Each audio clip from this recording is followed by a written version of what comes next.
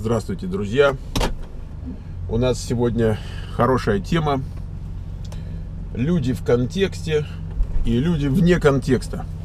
Соответственно, начнем мы, естественно, с анекдотца такого по теме. Значит, суд, разводится муж с женой. Судья говорит, может быть, вы как-то, ну, там, примирение какое-то возможно. Муж говорит, нет, после того, что произошло, нет.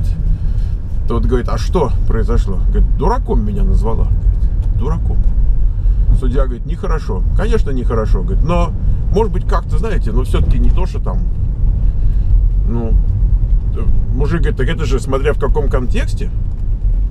Тот говорит, ну да. Говорит, а в каком контексте вас назвали? Он говорит, а вот представь себе, прихожу домой и вижу, она в постели с чужим мужиком. Смотрит на меня и говорит, смотри, как это делается, дурак.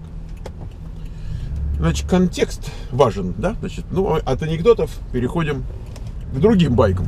Значит, расскажу вам, как я был молодым специалистом. Закончил я институт связи и работал в Центральном конструкторском бюро Министерства связи в Москве, что на улице Народного ополчения. Ну, молодой специалист. Однажды какая-то там задача у них, не могут решить задачу.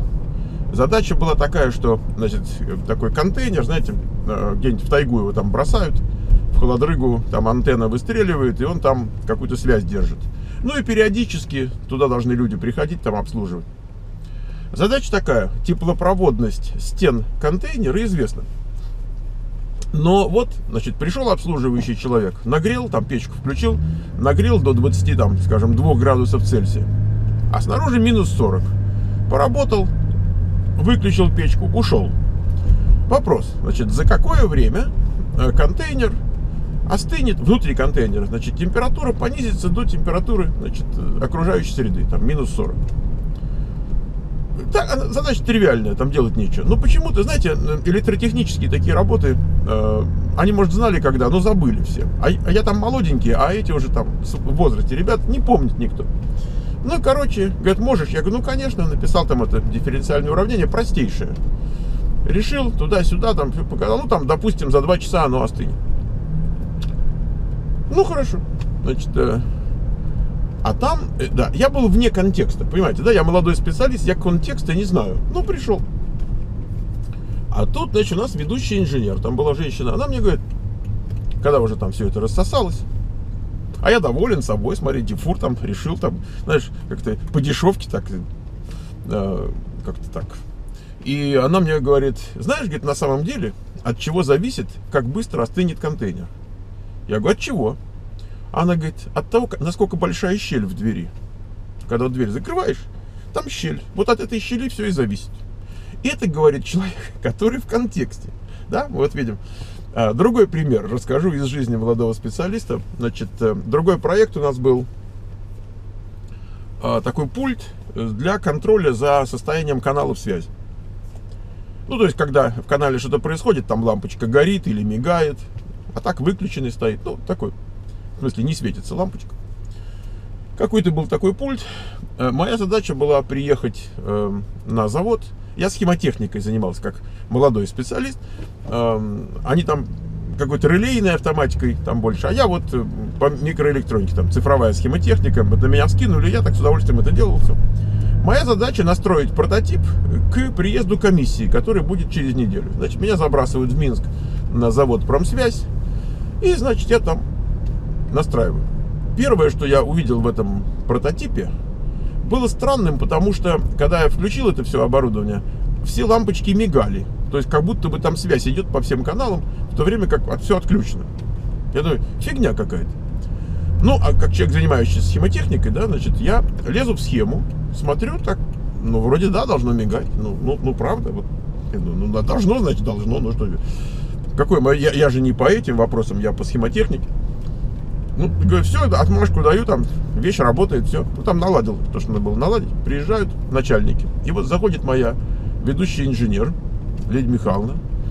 Э, и она так заходит, и у нее лицо так вытягивается, и она говорит, Миша, говорит, а почему они мигают? Я говорю, хороший вопрос, я говорю, я тоже задался. Говорю, ну знаете что, вот схема, таки должно мигать. Она в ужасе, значит, оказывается, она, ей, ей тоже нравилась схемотехника, ей не положено было по, по работе этим заниматься, она документацию проектную делала, но, но ей тоже хотелось. И, вот, и она где-то внесла изменения в схему, никто не знал, ну, в смысле, я, я так точно не знал, внесла изменения, и это как бы инверсия такая произошла, то есть оно стало мигать, когда должно было бы стоять под, погасшим.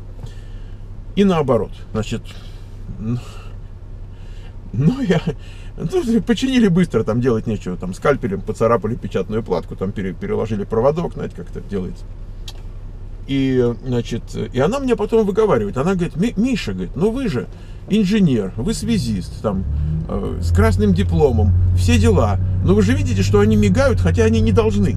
Он говорит, я, я говорю, я, конечно, вижу, я говорю, ну какое мое дело, ну, ну я смотрю на схему, я отвечаю за схемотехнику, правильно? И я вот в, в контексте вашем я не живу, я живу в контексте схемотехники. А для чего эта фигня нужна, я все равно не понимаю. Я не знаю вот этих э, телеграфных э, предприятий, это было для предприятий телеграфной связи. Я не знаю жизни предприятий телеграфной связи, я там никогда не работал. Я, я вообще ничего такого не знаю, но это же вы решаете, что должно быть и что не должно быть. А я решаю, чтобы оно, а моя задача, чтобы оно работало. Я говорю, ну так оно работает. Ну, вот вот. А то, что там кто-то схему поменял, я, я не... Почему я рассказываю? Контекст и, и вне контекста. Если ты вне контекста, тебе пофигу, работает вещь или не работает так, как она должна работать. Ты говоришь, я вот это сделал, вот там пуговицы пришил к пуговицам, претензии есть? Нет. А костюм криво сидит. А я ни при чем. А пуговица пришита крепко, да, как у Жванецкого.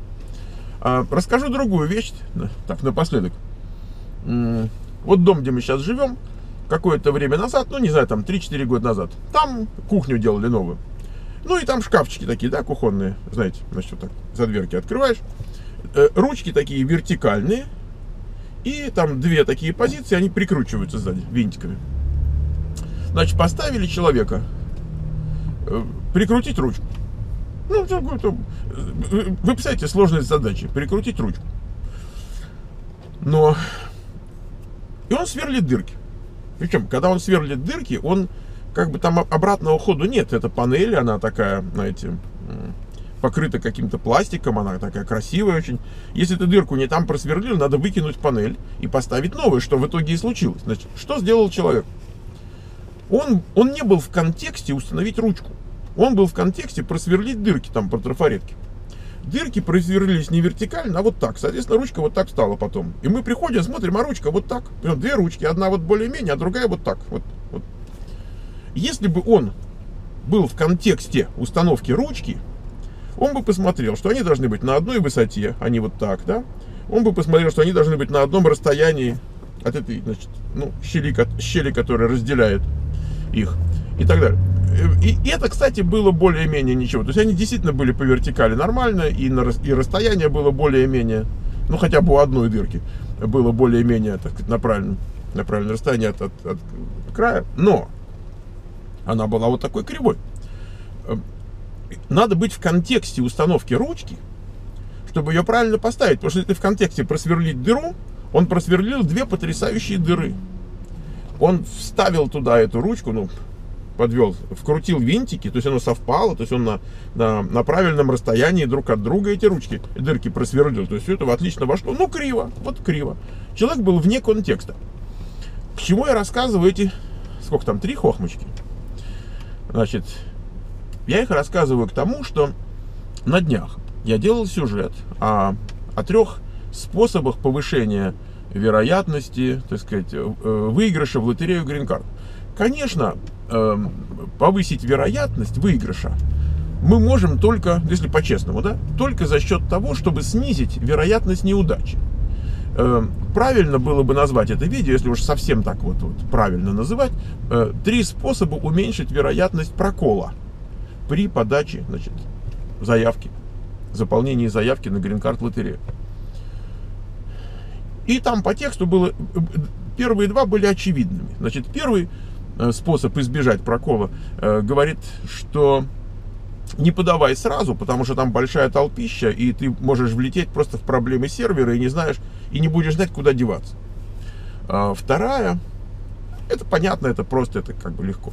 А вторая говорит, не заполняй сразу, а вот возьми формочку, да, вот это вот, распечатай, или там в файле, и так поле за полем, смотри всякие видео, там читай на форуме, задавай вопросы, но вот этот вот 7 раз отмерь, один раз отрежь, да, вот, вот чтобы когда ты уже начнешь заполнять, не было такой истории, что, знаете, вот все форумы э, полны вот этим вот, ой, ребята, вы знаете, там заполнял сегодня заявку, забыл указать э, ребенка жены от первого брака.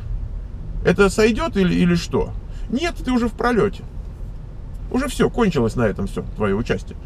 Поэтому вот чтобы этого не было, и это тоже понятно. Э, не надо быть там семи пядей во лбу или там что-то, чтобы сказать, ну, ну, в принципе, да, лучше знать, что ты делаешь, и лучше, э, чем, чем не знать, что ты делаешь. А, вот тут женщина спрашивает, я, говорит, родилась в Германии, отец был военным, так, группа советских войск, ГДР. И вот так мне что теперь от Германии играть? А Германия вроде и не играет даже. Так, э, но дело в, том, что у нее в свидетельстве о рождении написано, когда она была в папа был в Германии, а, и она родилась, э, ей же не выдавались свидетельства о рождении немецкие э, государственные орг, организации. Ей выдавалось свидетельство советская администрация, там, ну как, как это называется, этой группы войск. Соответственно, э, ее страна рождения в данный момент определяется тем, что у нее есть мама и папа. Мама и папа из, ну, откуда-то, из бывшего СССР. Может быть, мама из Узбекистана, а папа, например, из э, Российской Федерации. И вот теперь надо смотреть там, э, кто у нее родители и откуда они взялись, и пошло и поехало. Понимаете? То есть какая-то вот такая... Это вопрос, в котором можно разобраться. Ты говоришь, ну вот я родился в такой ситуации, как быть? Ты идешь туда, ты идешь сюда, ты читаешь, ты разбираешься, вникаешь, там тебя консультируют, готово. То есть ответ есть, надо его просто найти. Это задача, которая решается. А третий, да, то есть, вот я говорю, подготовиться надо. А третий пункт был неочевидным. Третий пункт говорил, надо быть в контексте. Или ты в контексте решаемой задачи, или ты в совершенно другом контексте. Или весь твой контекст это заполнение заявки.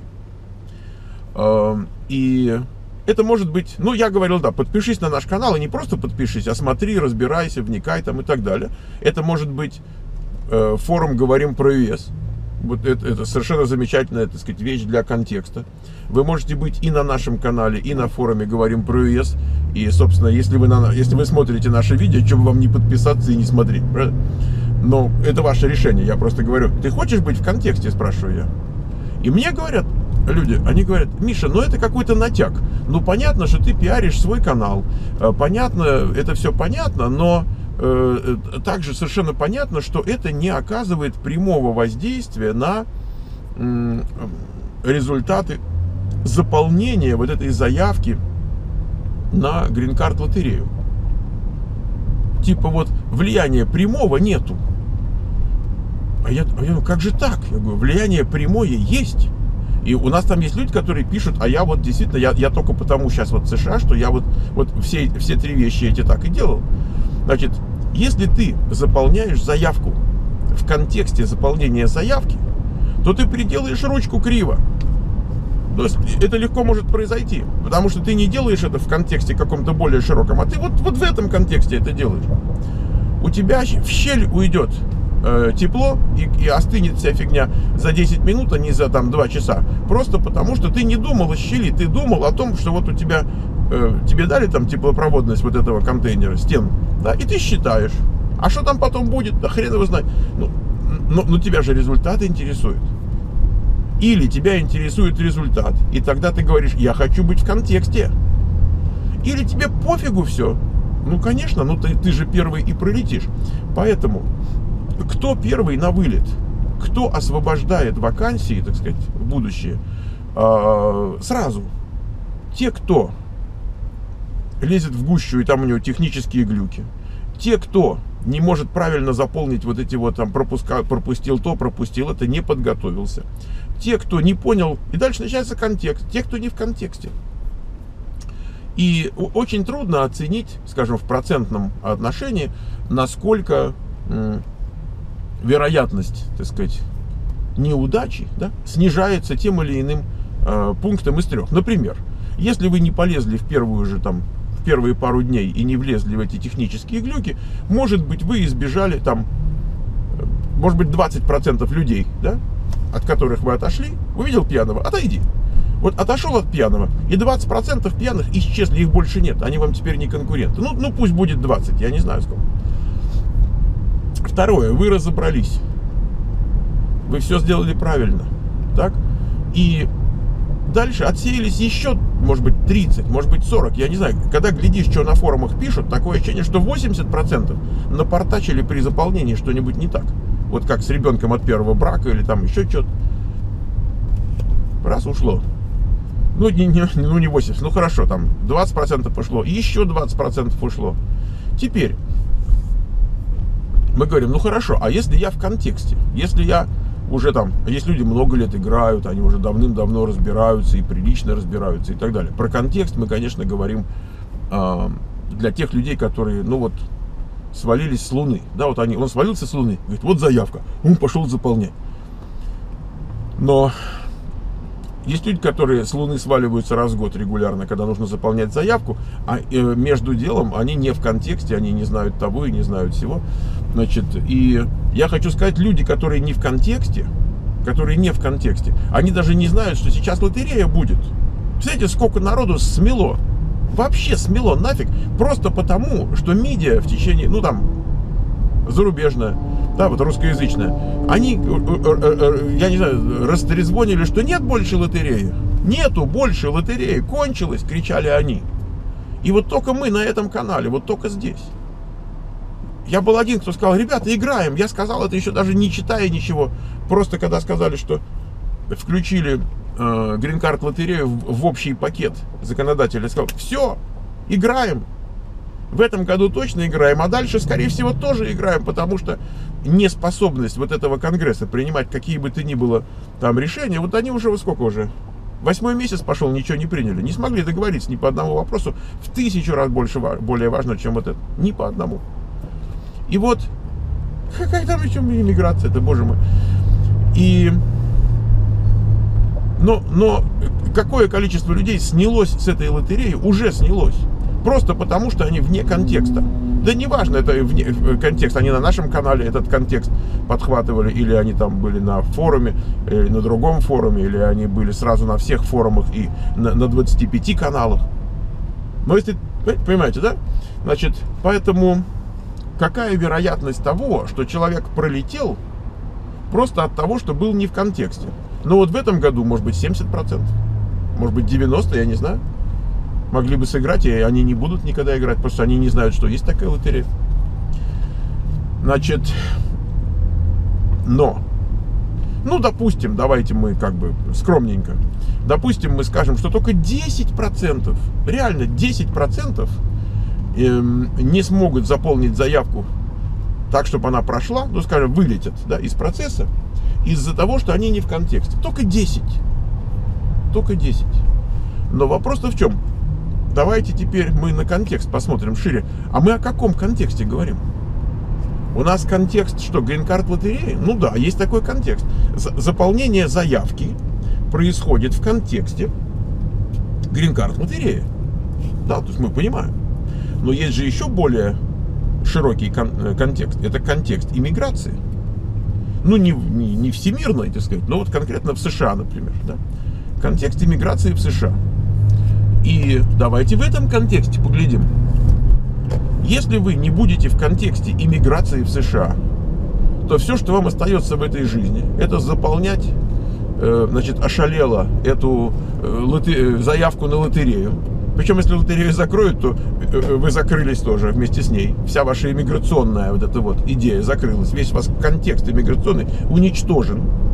Потому что нет больше лотереи. Но если вы в контексте иммиграции смотрите на это, на все, тогда, минуточку, говорите вы, так кроме лотереи же еще бог знает, сколько всего есть. Мама родная. Есть еще политическое убежище, есть там через учебу рабочую визу и так далее, есть там по, по одаренности, по способностям, э, там, я не знаю, брак и так далее, и пошло и поехало. Есть еще программы. И я, честно сказать, не знаю в количественном отношении, чего больше у нас вот э, сейчас. Больше людей по политическому убежищу э, легализуется или, например, там через грин-карт лотерею. Я просто не знаю. Вот наши соотечественники в контексте Советского Союза, да, а не конкретно там Таджикистана или Туркмении. Так вот, открывается миллион всяких возможностей в контексте иммиграции. Поэтому, если мы смотрим на контекст иммиграции, а вы не в контексте иммиграции, весь ваш контекст свелся к двум шурупам, которые нужно закрутить. Кранты. Кранты. Шурупы, значит, ручки у вас будут стоять криво. Соответственно, лампочки будут мигать не в том режиме. Значит, все тепло идет через щель вместо того, чтобы уходить через стенки с известной теплопроводностью. И вот так и вот, э, вот собственно, это, это все, это называется через задницу все делать. Делать через задницу, это, э, это, другие, это просто народное э, выражение для находиться вне контекста. Вот когда человек делает что-то вне контекста, у него все получается через задницу. Понимаете? Наверное, я это видео в философскую тетрадь а,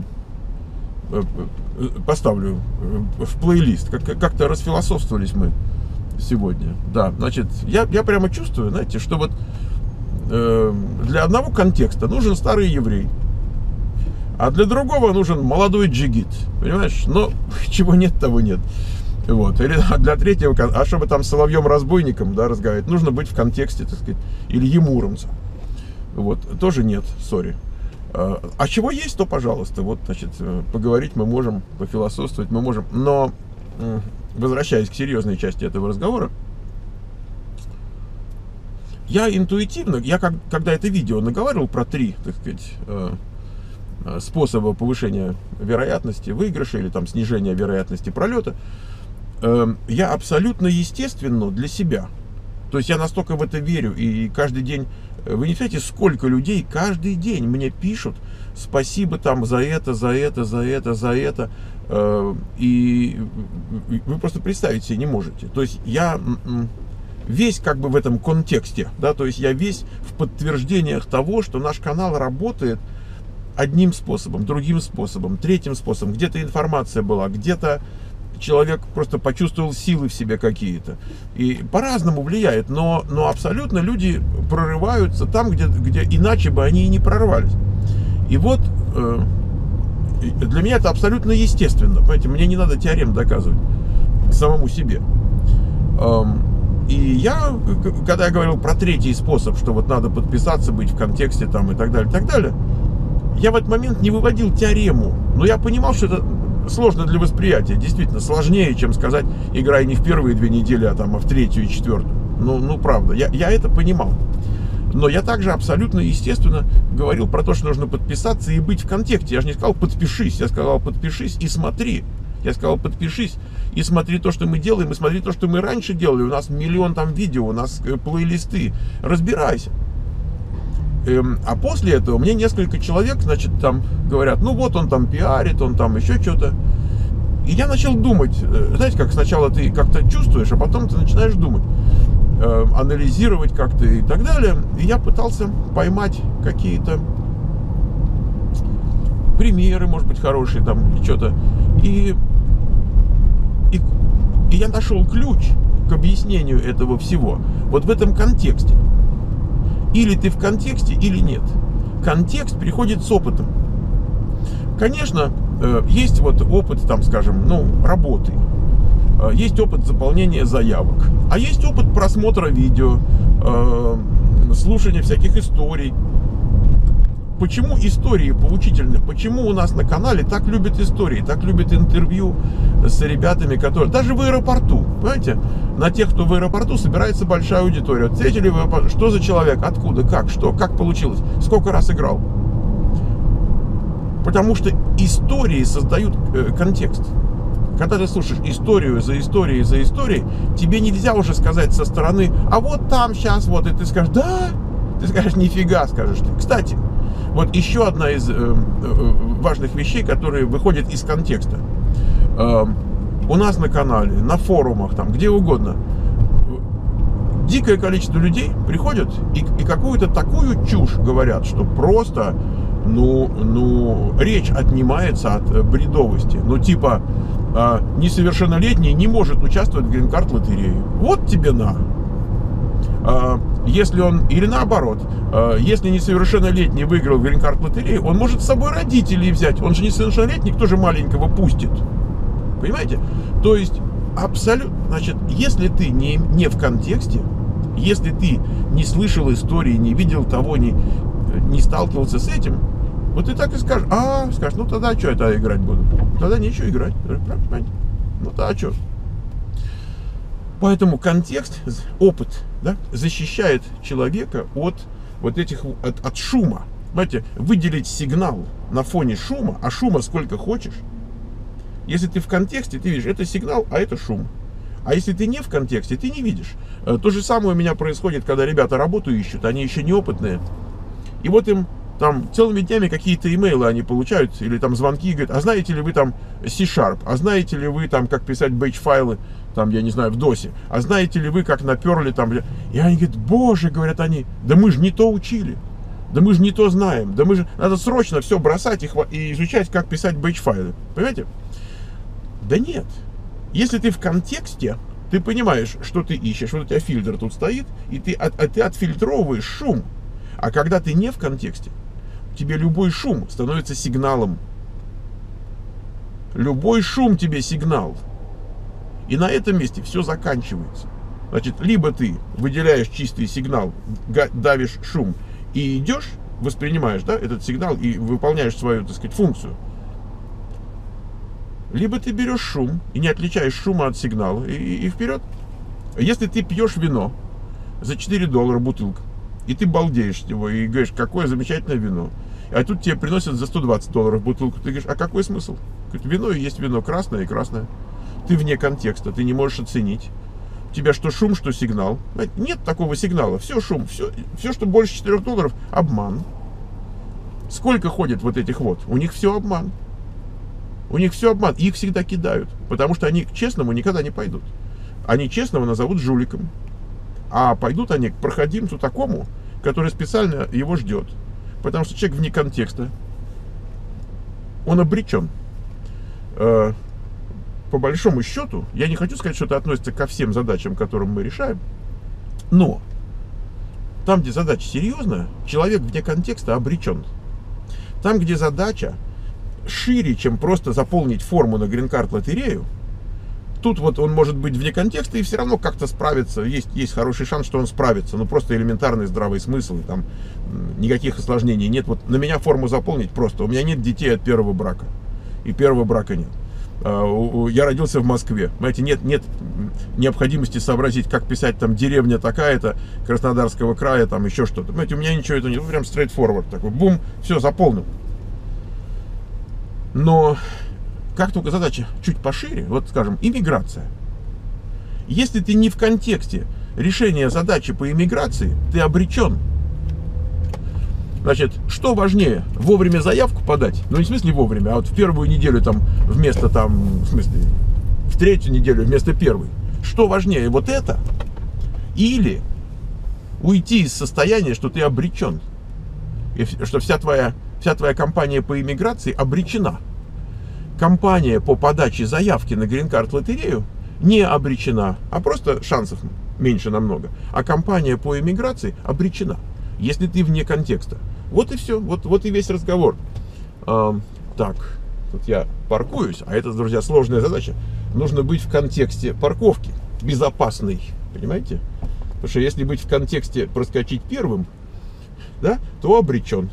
Ну, что я вам рассказываю, вы все знаете. Поэтому э, спасибо вам за э, то, что вы слушали. Спасибо за ваши комментарии. Э, и за то, что вы, как бы сказать, воспринимаете то, что я говорю. Потому что я иногда что-то скажу и думаю, блин, сейчас э, дизлайков понаставят. Не поймут, не, не, не, тонко слишком. А потом смотришь, боже, какая аудитория у нас. Это просто атас. Понимаете? понимает. У нас очень понимающая аудитория. У нас дизлайки, если есть, то они, как правило, идут, ну там 90% дизлайков. Это, кстати, не выдуманная цифра, это я вижу там э, на сайте. YouTube показывает, кстати, у нас 90% дизлайков от людей, которые не наши подписчики, они вообще вне контекста люди. Они пришли вне контекста. Они видят какой-то старый еврей. Думают, первое, жулик. Во-вторых, что он может знать, он же старый. Понимаете, они находятся в контексте той жизни, в которой они живут. Дай им Бог здоровья, понимаете, дай Бог, чтобы уже никому никогда не пришлось такой жизнью жить в будущих поколениях. Но вот сегодня это их контекст. Поэтому, ребята, спасибо вам, что вы есть.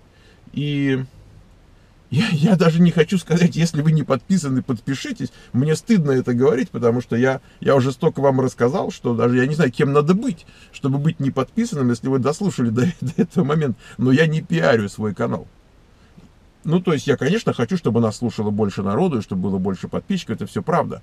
Но я каждый день имею подтверждение того, э, как это меняет жизнь людей. Поэтому, когда я говорю «подпишитесь», я говорю давай мы вместе сделаем что-то, чтобы твоя жизнь к лучшему изменилась. Я измеряю свой успех не в количестве людей, которые подписались, или там 320 э, долларов я заработаю на, там, на этих кликах, или там 280. Мне совершенно без разницы. Я измеряю свой успех э, в количестве жизней, которые изменились. Вот где я плечо мог подставить, и что-то хорошее из этого произошло. Вот поэтому. Хорошо? Все, ребят, счастливо. Спасибо за понимание, и я пошел работать.